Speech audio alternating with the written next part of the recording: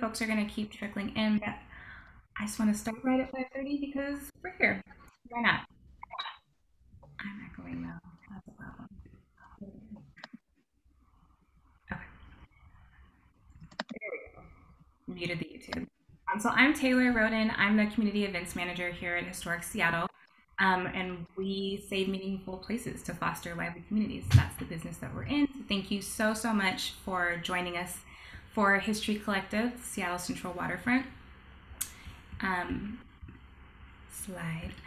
Historic Seattle, um, in addition to saving our spaces and fostering lively communities, we know that our properties and our programs occupy the unceded traditional territories of the Coast Salish peoples. And this acknowledgement is not a substitute for developing relationships with Indigenous communities or for honoring Indigenous stories as we share our collective history, but it's a first step in recognizing the people whose land we do occupy. I have a few thank yous um, before we get into tonight's program. So first, I want to thank um, all of our panelists, and we'll I'll introduce them in just a second.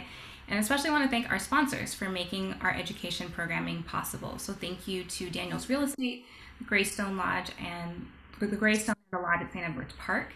Thanks to Bricklayers and Allied Craft Workers Local 1 Washington and Alaska, and thank you to Falling Construction.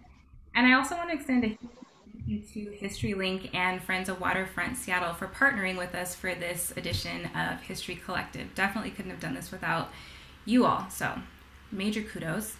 Um, and a plug to History Link. So they've got all of these self guided walking tours. Um, and if you haven't had a chance to take this tour or really check out any of them, I will share that information after this event via email with all of you who registered. Um, and a pro tip so, our friends at Waterfront Seattle actually curated waterfront vibes and audio fantasy. So if you want to listen to good music while you're taking this tour, I'm not going to stop you. I think it's a good idea. And then, of course, thanks so much to our panelists for being here. So thank you, Chairman Leonard Forsman. Thank you, Jordan Remington, Guy Michaelson, and of course, Jennifer Ott. Um, and before we hear from our panelists, um, for the actual discussion, Jennifer is actually going to kick us off with an overview of the tour and do some framing of uh, tonight's discussion. Um, and then after Jennifer does that, we'll do the Q or we'll do the panel, and then we'll end our time together with a Q and A. So throughout this presentation or this conversation, not a presentation, um, definitely invite you all to put all of your um, questions in the chat. I'll look at that after the conversation or uh, throughout the conversation and just keep track. And I promise that I'll try to get to as many of your questions as I can um, with the time that we have. And before Jennifer um, comes on the screen to, to give us the overview of the tour, I just want to remind all of us that our points of view and our opinions will differ, and that's great. We're all different people. That's why we love these conversations. So we just ask everyone present be respectful of the space for listening, for learning, and for exploration. We really want um, and have created a safe space for all of our participants. And if that kind of shared agreement is not being uh, honored, then we'll take action. But I don't think that's going to happen tonight. So, with that, please welcome Jennifer Ott. Jennifer is um, the author of the tour to do some framing before we get into this really awesome discussion. Thank you so much. And um, you all can see my screen just right? Yes. Thank you. So thank you so much for having me and thank you for, to everyone for joining us. Um, I'm, uh, I've been writing about the waterfront for many years. I, I'm, my background is I'm an environmental historian and I uh, love to explore how people shape their environment and how they are shaped by their environment.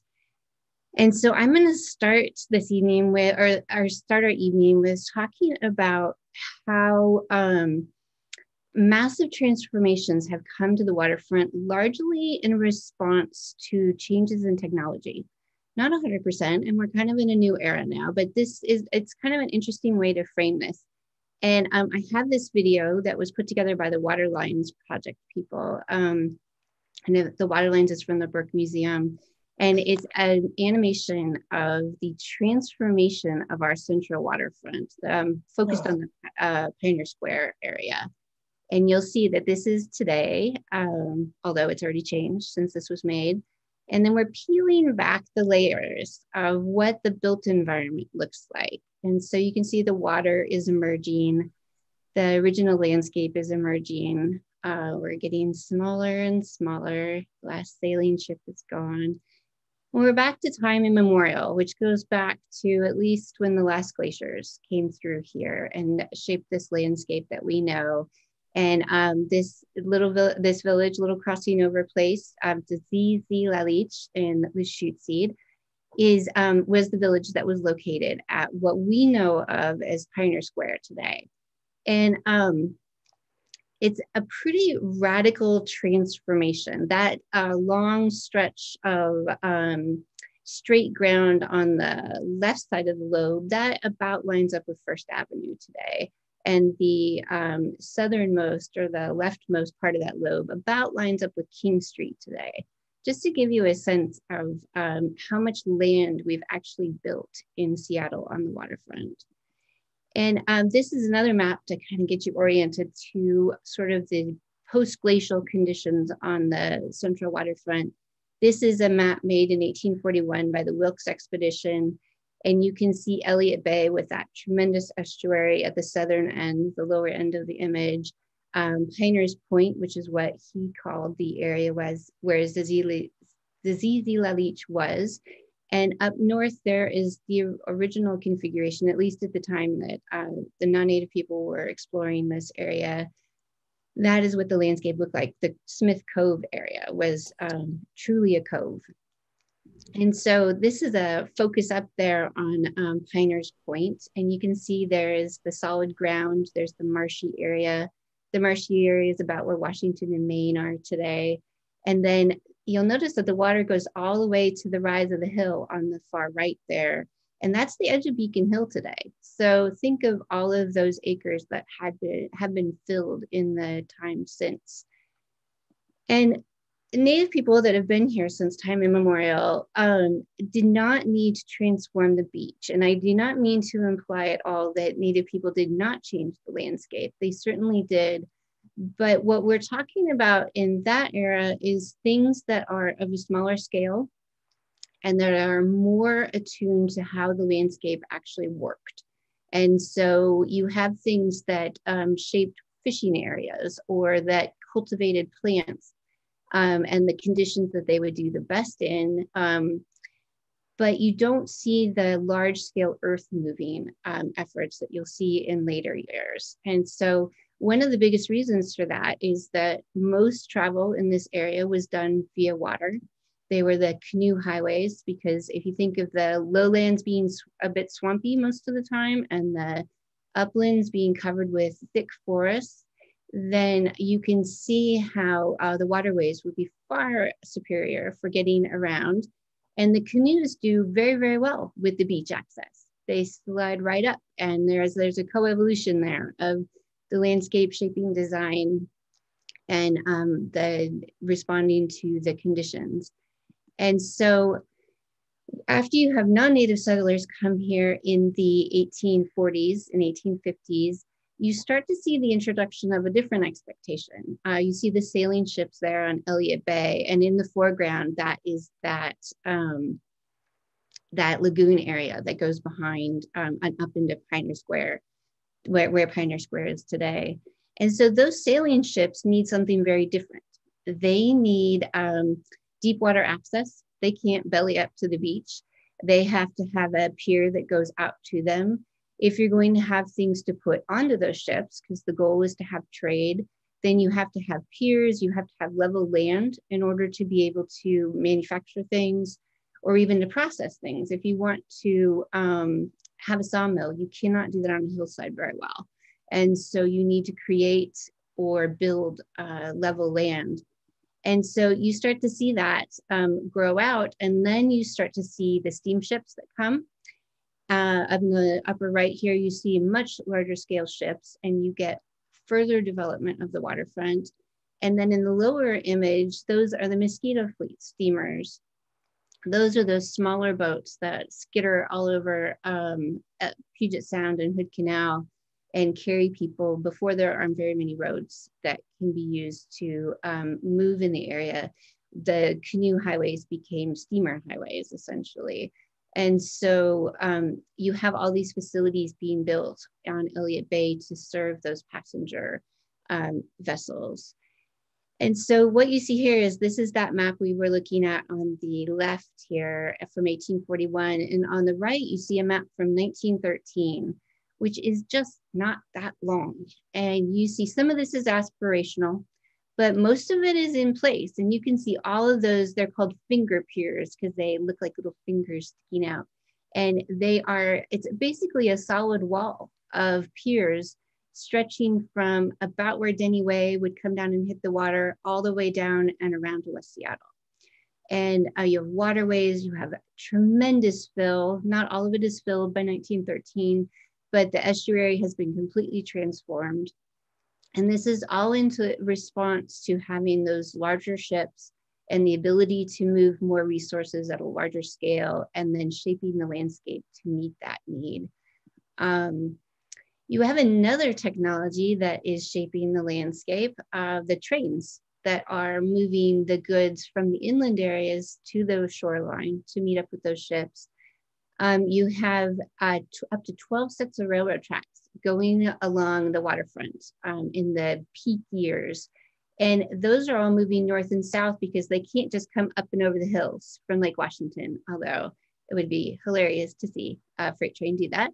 Um, instead, they have to come either from the, I talk with my hands and I'm realizing you can't see them. Um, they either have to come around via the Interbay area to reach it via level land, the waterfront from level land, or they have to come south through the Duwamish River waterway. And so you have this north-south movement. And so this is a tension that will be part of the reason that the water, the waterfront evolves the way that it does is that you have things in people moving north and south and you have things in people moving east and west. And um, you see the um, horse and wagons, those will be replaced by vehicles very soon. And um, it's it's remarkable. When you read the newspapers from this era there are so many gory stories of trains starting unexpectedly and the people that get trapped by that because it's insanity to have these people sharing this these different modes of transportation sharing this space. And then you have the onslaught of the vehicle. And i'm sorry this isn't a great um, quality of image but i love this image so much that i use it anyway. This is the ferry letting out the traffic at Coleman Dock. Before there are lanes marked, there are no traffic signals, and there is not um, any sort of sort of agreed upon road rules to manage this sort of onslaught of traffic. And I should add that this entire area, both that we're seeing here and here, none of this is solid ground. All of the flat areas are um, trestles. Uh, they're built on pilings and um, it's just entirely a city built out over the beach. Because again, you need level land in order to be moving people and goods at this scale and with these modes of transportation. And so in the 1930s, 1934, they start building the seawall. And that's a whole nother long, fascinating story. But the person here that you see in the upper left, he is standing where the sidewalk is today. And so that gives you a sense of the scale of transformation from beach to solid ground. And so they move the edge of the shoreline out to the edge of the seawall um, and then fill the entire area back behind and raise it to a level point, even with about Western Avenue. You would think that that might have solved some of the transportation issues, but it did not. So you see that um, it became a parking place. It became a throughway. Um, it's way easier to drive on the waterfront than it is to go second, third, fourth, fifth, or sixth Avenue. Um, there's no freeway and there's no 99 yet. And so it instantly became a bit of a choke point and the uh, waterfront businesses begged the city to come up with a plan B for what to do next. And that's when we got the viaduct, which it's so much more fun to give this little presentation now because it used to be that we never thought the viaduct would go away. And then it did. So now it is gone, but the viaduct served a very specific purpose and it represented a different set of values than maybe we have today about land use and um, access and all sorts of things like that. And so the viaduct was built in the 50s and 60s. Uh, over a few years, it um, opened up in stages and it dominated the waterfront until today. We are now in the process of developing this waterfront. And this waterfront, unlike the one that was adapted to canoe use or the sailing boats or the steamships or the steamers or the automobile or the railroads, is much more focused on human scale uses. However, there still is a big road that comes through. And um, the piers are still there, but to a much less of an extent. And there is a greater um, priority placed on the environmental values and the environmental uses and on providing space for multiple communities to have access for use. And that will come out in a lot of different ways. And so it's very interesting to see the evolution of this space over time. It's almost impossible to imagine that it all happened, but it did. And so um, that was my whirlwind tour of the waterfront. And I hope you all have enjoyed the tour very much. And I'm looking forward to our conversation tonight. Thank you so much, Jennifer, um, for that framing. And I just realized that when I said your names, I didn't actually let people know um, what you do. So I'm going to spotlight myself. Sorry.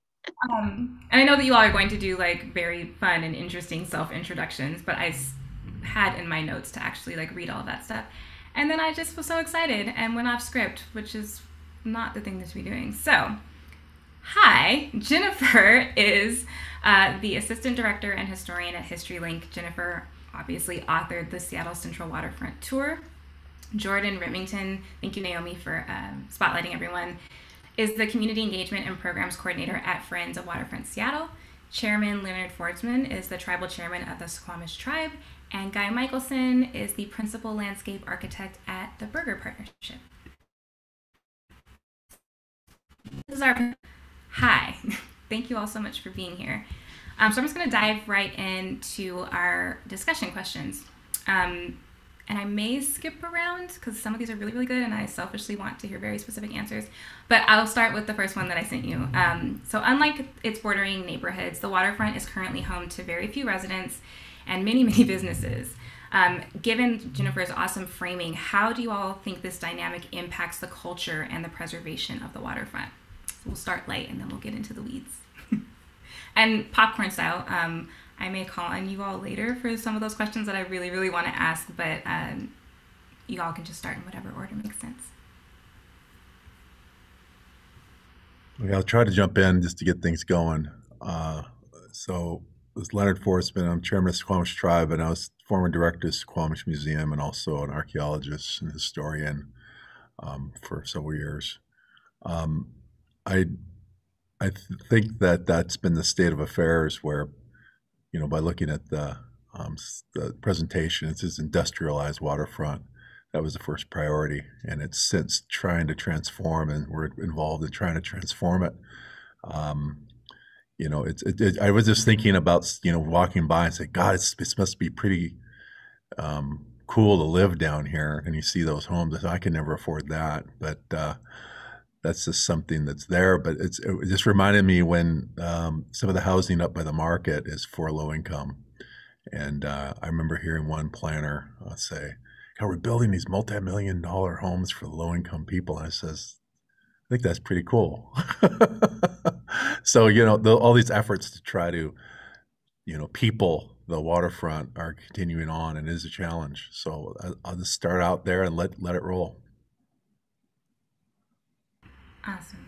Thank you, Chairman Forsman. I'd, I'd piggyback on that. Like, it it is a, it is a our waterfront has kind of been devoid of people for a long time, right? Because I think when we think about any city, and with Seattle, our best spaces are are our public places that people want to be in, and we build great places that that the community wants to be in. Then visitors and tourists will follow. But on the waterfront, we didn't have community spaces. So when we think about the waterfront, most of what we're thinking about really is the private stuff that's down there. And it's target it has historically been targeted at visitors and tourists and not locals for that reason. So what I think is really, really cool is like our past impression of the waterfront is private focused because there was no, there was very little public. And so what I think is really exciting about this new chapter in the waterfront's life is um, with this vision, we will finally have public space. And so, so that pendulum is going to swing back towards the public. Like the community that lives here will enjoy the waterfront more. Um, and so I think we will have that place. And, and clearly there's a lot of attempts to have residential, you know, throughout downtown. So there will be people to draw on um, in the immediacy and maybe a little more distant and using transit. But I do think that the pendulum will swing towards the local. But what I think will be really interesting is to see how the private responds to that. You know, does it stay so tourist focused or will the private start to respond more to the local and in doing so serve both but right now it is a bit of a monoculture that does seem to be visitor focused so i dream the dream that with public space and public awesomeness um, will become a more public place that's representative of the community and not just visitors to the community yeah um, I mean, so first off, Hashtotoch Lia, uh, Kulaas, Jordan Remington, uh, Kaas, Sherwin Remington, Abbas, Shirley Cleveland, Yakha Abbas, Sarah Ward. Um, so hello, everyone.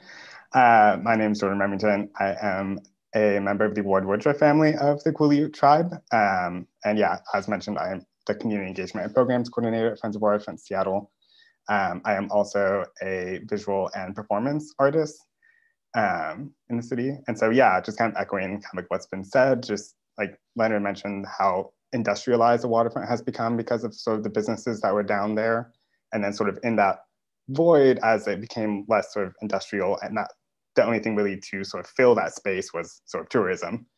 Um, and so hopefully, and I think that sort of led, I mean, we'll probably get into this more later, but sort of led to the waterfront, like its view on sort of like local Seattle culture, both native and you know just more broadly Seattle culture, has been very much through a lens of like that sort of touristy lens.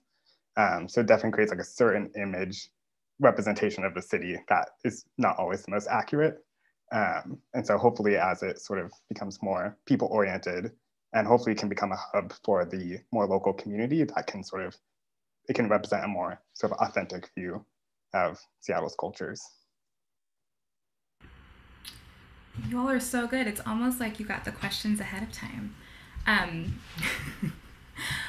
and we actually, I mean, that was great because it, it, did address one of them. But I want, while we're here, um, I want to dive into something kind of specific about, you know, the waterfront changing and um, this like local presence and local buy in. So um, we're getting into a, a meaty question. So, this this whole program, History Collective, a recurring theme of the program as we've talked about different neighborhoods, both um, Chinatown International District and the Central District has been a theme of honestly uh, displacement. It comes up every time, um, and it's a reality of our history in Seattle, um, especially for people of color and Black folks and Indigenous folks. We're moved out um, and around quite a bit. So as the waterfront continues to like take this new shape, um, and thank you Jennifer again for the visual aids there. How can the collective we, you know, thwart this further displacement and, and diminishing of Duwamish and Suquamish presence on the waterfront? I know that's like super specific, and we were kind of talking about, you know, all of us um, in the Seattle area. But I do think that this is, I want, I, I want to hear, I want to learn some stuff. Well, it's a very complex complex question, of course, um, when you talk about this, especially regards to the tribes in the area. Um, but I do think that the industrialization and the disconnect between the water and the shoreline have created a void for us. And I think Jordan understands. You know, it's like there's no beach. You know, where are the rocks? Where's the sand? Where does where's the where's the interface? So we're out here, and you just walk over and look at the water and how did I get here? You know, and I'm looking at that one photo. You know, we're elevated above the water, so it creates a bit of a chasm for us as um, American Indians that um, in, the, in the, of the of the coast uh, because we're so engaged with being that being that being part of our experience. So not only the displacement, but just the physical transformation um, when you see a whole bay um, completely covered in um, you know, um, displaced in its own right, plus the people who live there, of course. And then you get more into the history and how, you know, right around treaty time, the Indian wars that occurred around Seattle and the fact that that was been claimed as the city's part, um, that they really didn't want any uh, American Indians and uh, Suquamish, Duwamish, Muckleshoot, you know, uh, ancestors around um, the um, around Elliott Bay, and uh, that was and they didn't really discriminate between that. So um, there were many of the some of the tribes were not engaged in that, and some were, but um, that really created this antiseptic almost like, uh, which led to more things like banning people from selling their wares and del- del- relegating visiting tribes to one particular area, like at Ballast Island, et cetera, et cetera. So, um, you know, how to repopulate, I think Salmon Homecoming is one event, but it's only one of uh, a small part that we're fighting to keep, um, you know, engaged in. Um, and we're getting more support as we go. But uh, I think that that's one place, but also just creating places uh, that are more um, engaging as far as the environment's concerned.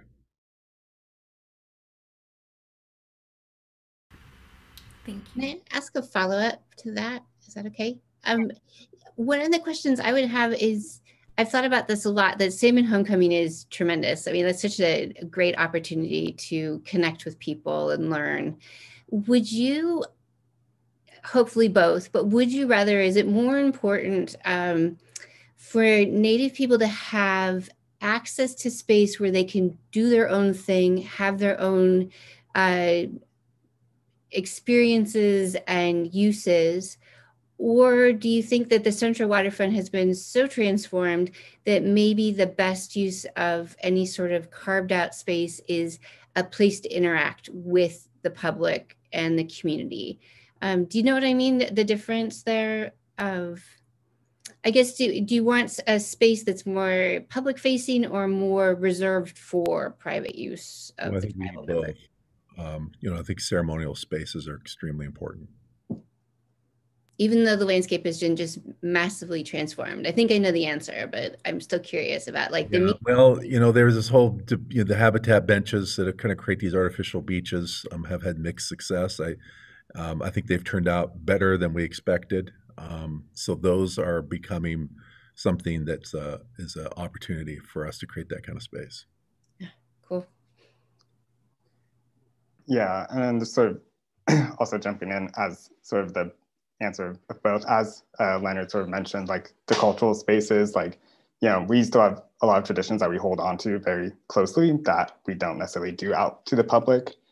Um, and then also I remember listening to Coll Thrush give a presentation. He sort of talked about, if you look at the his, like the historic photos of like natives down on the waterfront, he, there's this awkward thing of how there's always a line of white people up above looking down watching them and so thinking about how do we uh, not necessarily perpetuate that all the time um, i think there needs to be i mean a like we're a very giving people. And so like you know we want to share culture and like you know make our presence known. But also how do we take time to have that sort of internal like healing space um, along the waterfront? Um, yeah even if it has changed so radically so I'm gonna. We did get spoiler alert. We did get these questions in advance and thought about them, and then darn it, the conversation goes differently than just the question. So I'm gonna give an answer that is not at all what I had planned. I might get to the other stuff, but one of the things that you you said something, um, Jennifer, that that I'm gonna I'm gonna challenge a little bit because um, it's something. So I I was lucky enough to be involved with the waterfront for a number of years. And I'm not now, so I'm removed. I'm, i know enough to be dangerous. But during that process, you know, I got to meet with with Chairman Forsman, a number of other tribes, and along the way, I was also just I was doing a lot of reading about, well, just about the tribes and and and and and one of the things that I learned, and and and Jordan and and and Chairman Forsman, I, I welcome you correcting me or if I'm wrong. But one of the things that that the sort of like I sort of feel like I learned in my heart along the way, which is we have this incredible bias that we that I'm going to call it a Western bias, which is we go down to the waterfront and we kind of look over the water and we see the things in the distance. And that is where we think the there is.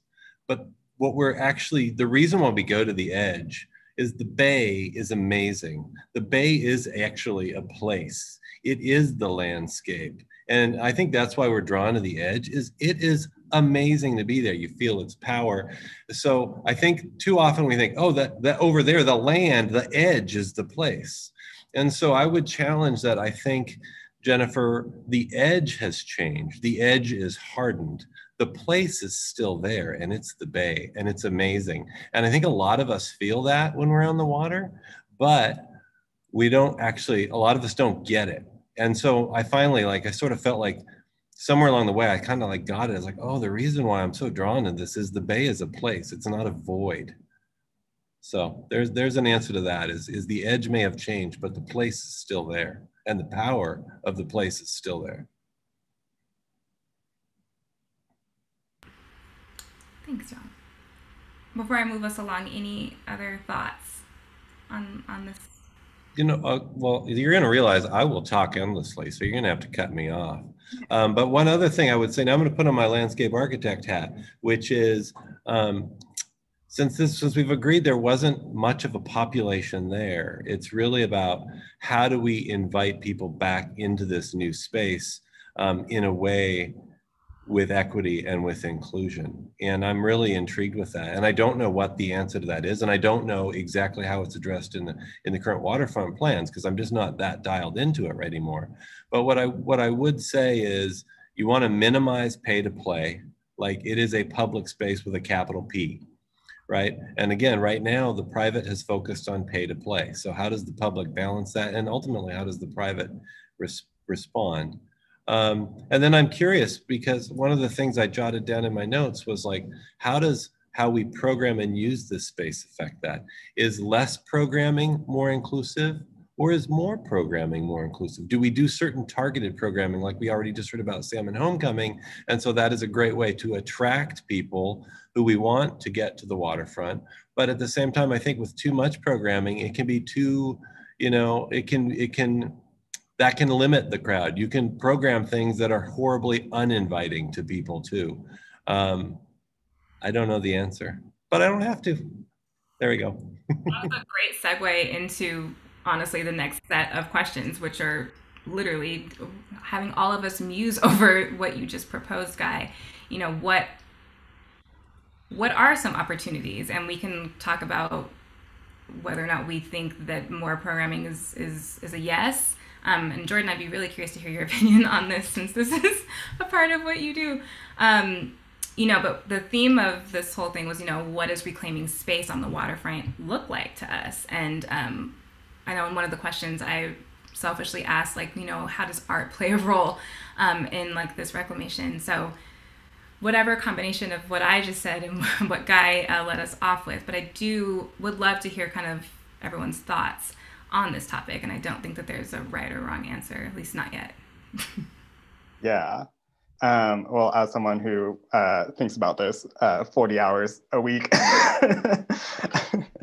um, yeah, I mean, I think you know, you have to be very careful. I mean, like, I'd say yes to programming, but also having to think about, um, you know, who's going to use, like, what kind of, who are you programming for?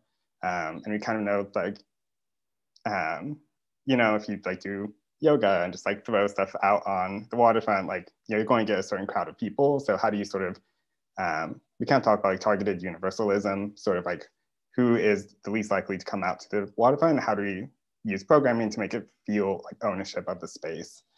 Um, so for instance, like the first thing we were able to do, to do on a pier was Reflections, which was like a native and black um, dance festival that we filmed out on the pier, which um, just felt really good to have that be like the first thing to really um, happen in that space.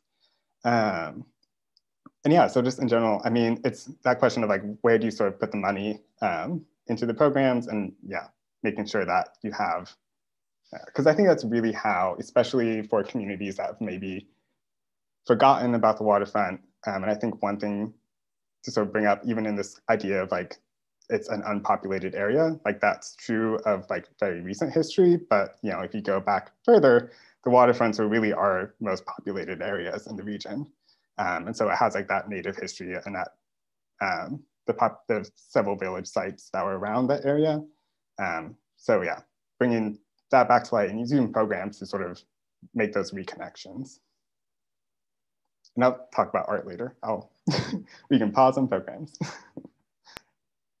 yeah, it's challenging uh, to create a space, an environment, a, um, I guess, I don't know if it's probably an old word now, a vibe that attracts different um, um, audiences or uh, people into the downtown waterfront. So, you know, the people come downtown and usually they're up up the hill there where the Westlake Center and et cetera, et cetera, where they're, you know, some of them go there. And then I think Seattle Centers also used to have a, a pretty good mix of uh, people, I felt, um, at least when I was younger, it seemed to be pretty accessible. So creating opportunities for a variety of types of things, you know, people are going to want to have something to eat, you know, but they don't necessarily have to, you know, you know, Pier 70, I don't know if there's anything there anymore, but I knew that, that costs money, but you usually used to be able to afford things at Ivar's. Um, I don't know how, it's still relatively affordable.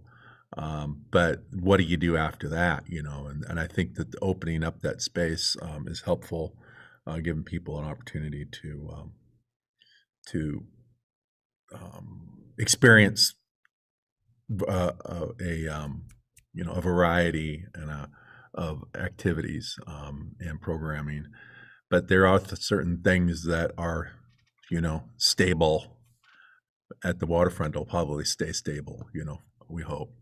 I think in some ways. I, I mean, I'm from the older generation, so you know, my mom used to take me over to see, you know, the old Curiosity Shop, and and then also, um, you know, um, go to Ivar's, of course, and uh, et cetera, et cetera. So there's a certain amount of, um, you know, kind of tradition there that's kind of old Seattle that needs to evolve.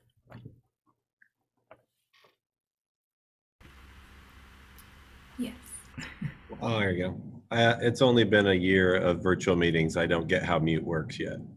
Um, so, you know, I would, I would I'm going to put on my landscape architecture hat first, which is, um, I think first and foremost, so program is great, but the first thing you need to do is have a space that is awesome as a passive space. Create a space people want to be in, and it will welcome events and venues because people want to be there.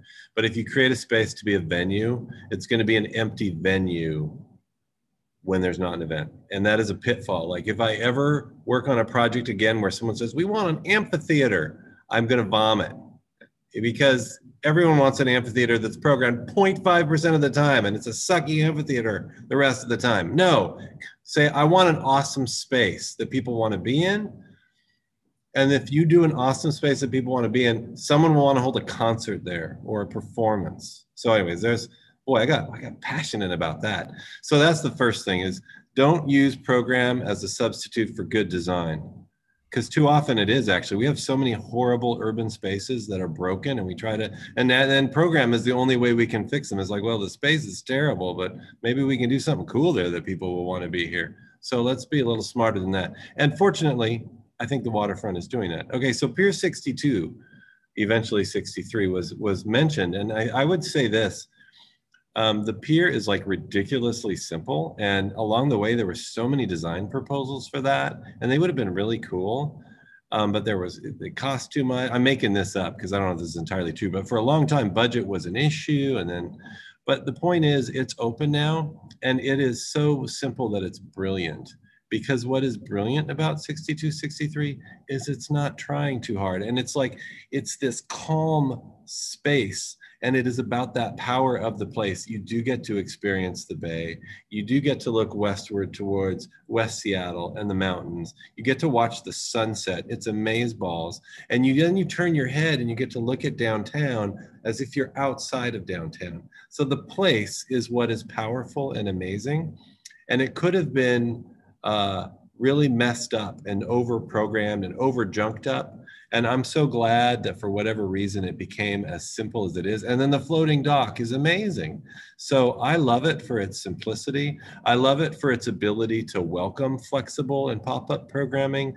But I think that that it should not be over programmed. There should be plenty of time where it is just a chill place to be.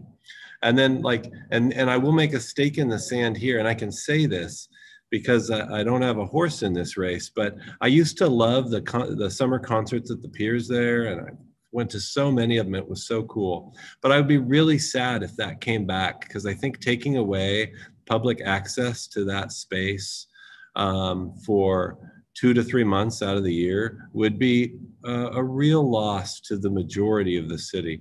And I will say, I went down there I work in the Pike Place market, and I, I, I go down there on my walk. I watched the whole thing get built, and then one day when it opened up, it was like ah, and I took my family down there the next day, and the whole edge was lined. And then I went back there later in the night, and everyone was already squidding, and the crowd that was there was diverse and amazing. Anyways, I'm rambling. Don't overprogram. There we go. I mean, but that's actually a great segue into this next discussion about design. Um, and, you know, we've learned a lot, right, from uh, our years of doing various things to this waterfront.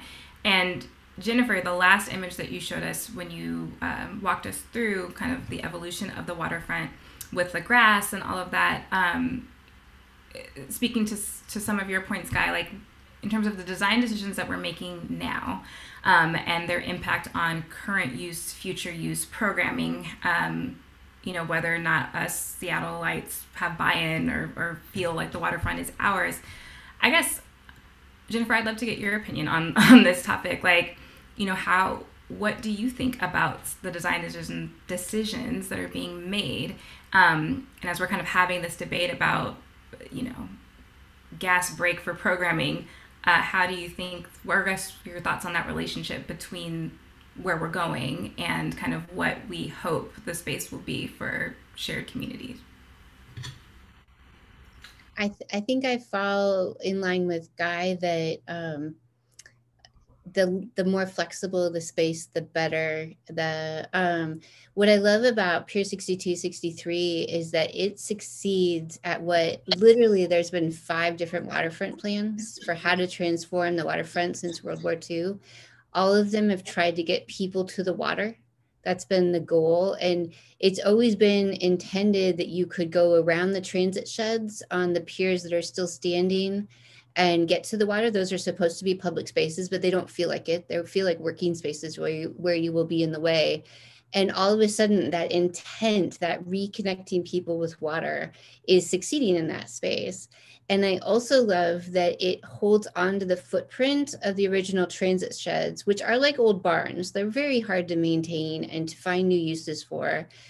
But what I always hope people understand, since so much of it is gone, is the scale of those piers, you know, those steamship sized transit sheds were so enormous. And you can sort of get that feel when you go into Miner's Landing now, but you don't get the cavernous feel but on that open pier you get that open feel and um, so i think that you get sort of a win-win there where you have the goals that you're trying to achieve for the future but also hanging on to that piece of the past that you know I, I just think it's good to know what we did and why and you know that mechanism for decision making so that it makes sense and people can understand it and do what they will with that information but just not lose that and um, it's not exactly answering your question, but that's kind of what I'm excited about for Pier 62, 63.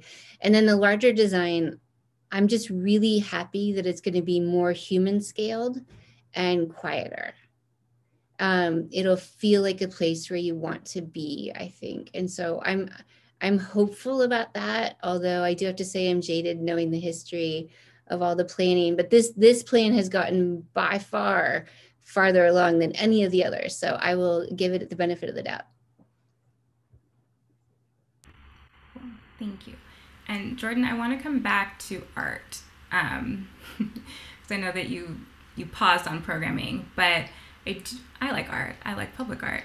Um, and so yeah, how how does art play a role um, in this you know current future um, evolution of the waterfront and reclaiming space and connecting community and and and and all the things that we've talked about tonight?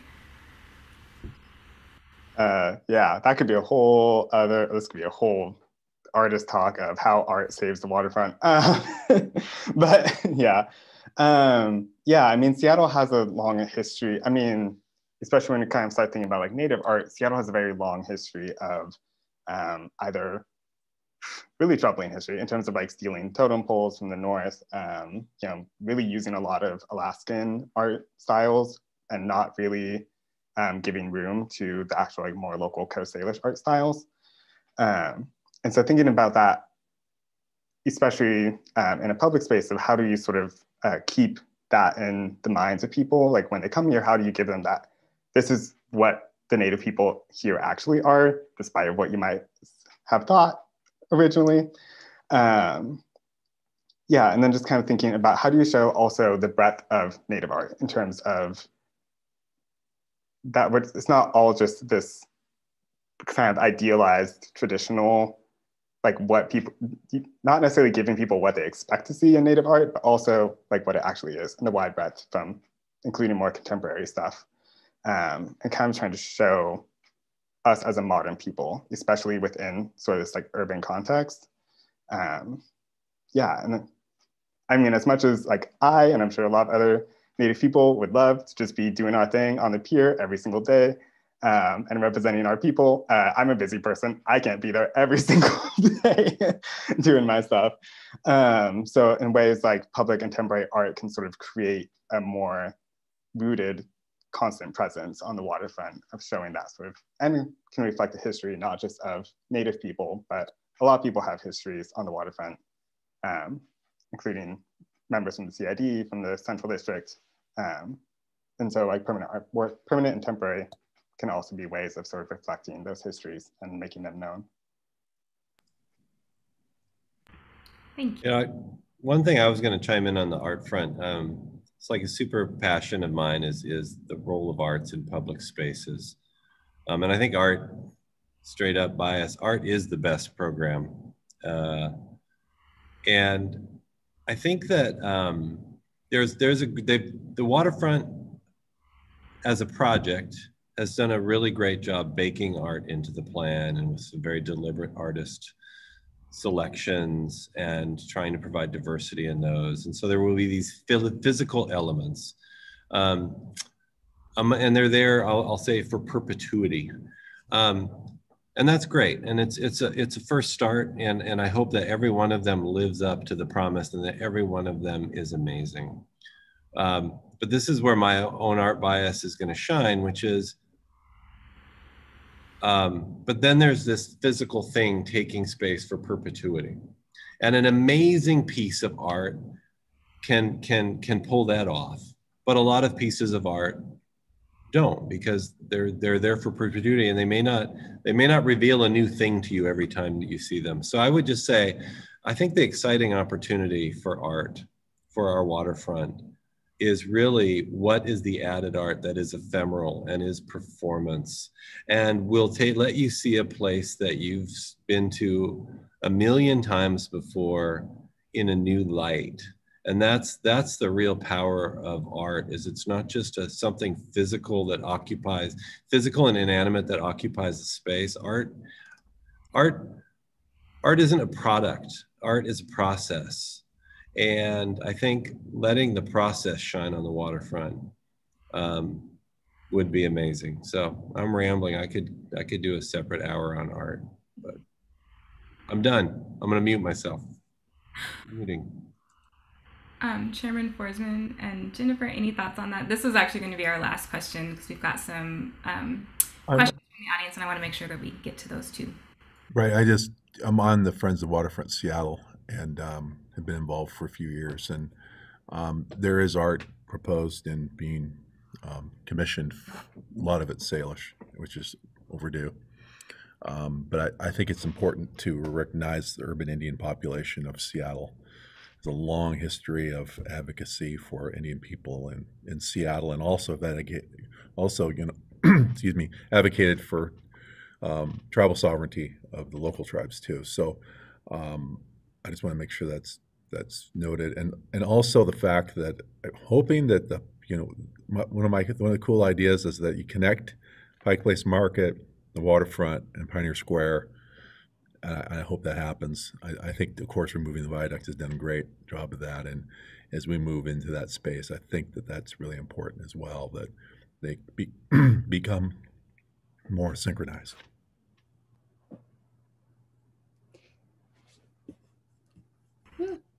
I, am hoping that um,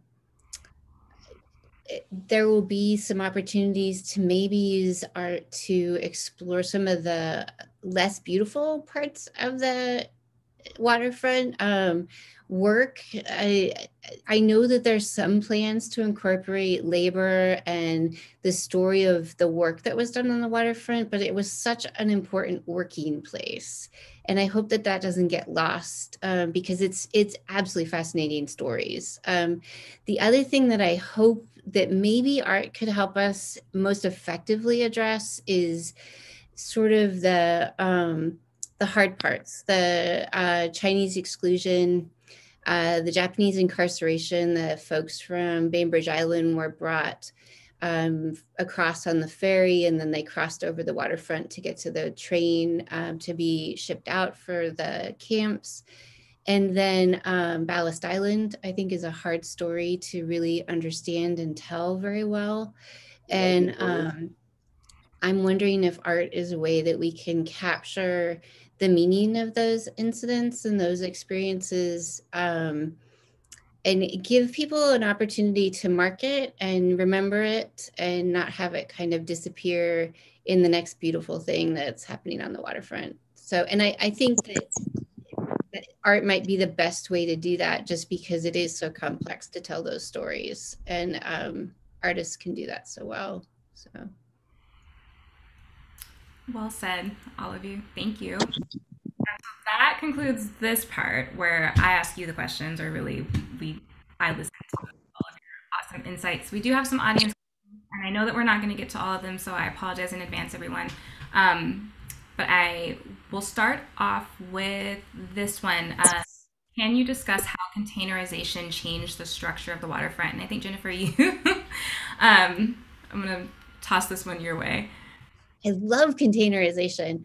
Um, so the most important thing about containerization is that when that was introduced in Seattle, it was 1964 was the first containerized ship went out of Pier 46 that's now part of Terminal 46 is that um, right away this the reason that it's at terminal 46 or it was at pier 46 is that there was nowhere on the central waterfront that there was enough room to move containers. They couldn't be moved through the transit sheds like the um, bales and boxes and barrels of um, cargo that came off of uh, the traditional ships. Instead they were this incredibly large object that had to be handled with cranes and so it moved off the central waterfront and it was so rapid. It's just it, the switch it was the vietnam war was part of the reason that that switched so quickly but also just the economy of scale had a tremendous impact. And so you see the central waterfront become almost um, lost in what is its intent and purpose if it can't move cargo anymore. And the fish processors hung on for much longer. They held on actually till the 90s. But um, most of the uh, cargo handling moved off to the waterfront with containerization.